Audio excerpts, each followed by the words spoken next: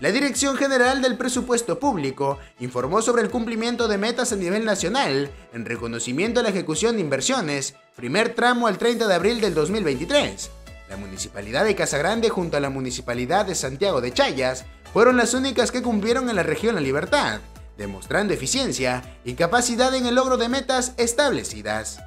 Qué alegría el día de ayer la publicación del MEF donde la municipalidad que yo represento eh, ya se hace acreedora a un incentivo en la meta rey, que es el reconocimiento a la ejecución de inversiones. Es la única municipalidad en la región, junto con la municipalidad de Chayat, que logra ese dinero que va a llegar a la municipalidad para mejorar la calidad de vida. Un dinero que necesitamos.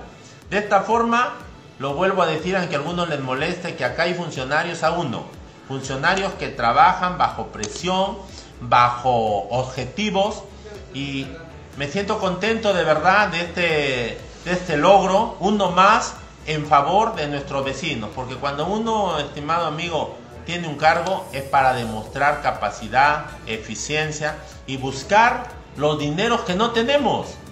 Así como lo hicimos en Ascope. ¿Con qué se construyó el canal en Ascope? Fue con 800 mil soles que se ganó de la meta reconocimiento a la ejecución de inversión de regional, de la meta REIR, que por primera vez el gobierno regional había hecho. Pero hoy esta meta nacional, como digo, va a llegar casi 1.800.000 soles aquí a Casa Grande y con eso vamos a comprar o a hacer un proyecto de envergadura para nuestro distrito. Asimismo, el alcalde John Vargas expresó que los funcionarios deberán seguir trabajando de forma disciplinada para seguir obteniendo mayor ingreso a la municipalidad e invertir en necesidades urgentes del distrito. Pidió además a los casagrandinos cumplir con sus derechos y obligaciones en favor de una mejor ciudad. Con un trabajo disciplinado, un trabajo responsable. Todos los funcionarios que están aquí en la municipalidad, como digo, trabajan a presión y trabajan por objetivo. Si un funcionario no rinde, es retirado. Porque aquí queremos dinero. No tenemos dinero aquí. Ustedes ven, las necesidades son urgentes. Estos gastos que estamos haciendo en el tema de la red de alcantarillado, el gasto, es molestia para la población. ¿Con qué dinero lo hacemos?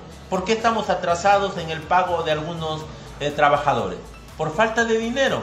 Entonces, los funcionarios acá tienen que cumplir su, su tema de competitividad y le pido a los casagraninos que cumplamos, que cumplamos con nuestros derechos económicos en favor de una mejor ciudad de Casagrande. Eh, claro, por supuesto, por eso todos tenemos obligaciones y los vecinos deben de trabajar para que su municipalidad tenga recursos, paguen sus arbitrios, todos sus impuestos, porque va a venir el dinero y va a ser bien utilizado. Este alcalde, con este dinero ya que próximamente se le alcanzará a la municipalidad, ¿qué unidades se pueden comprar?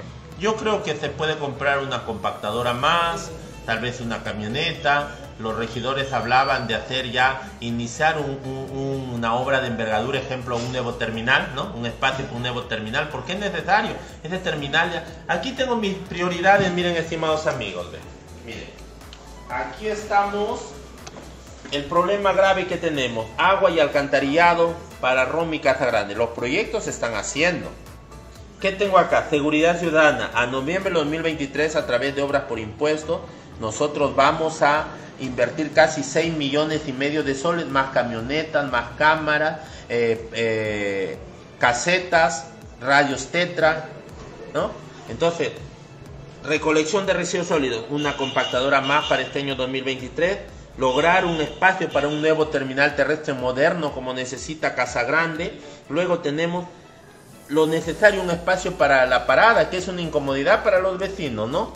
Y también la recuperación de las plazas y palazuelas. Aquí venimos trabajando en un marco de un proyecto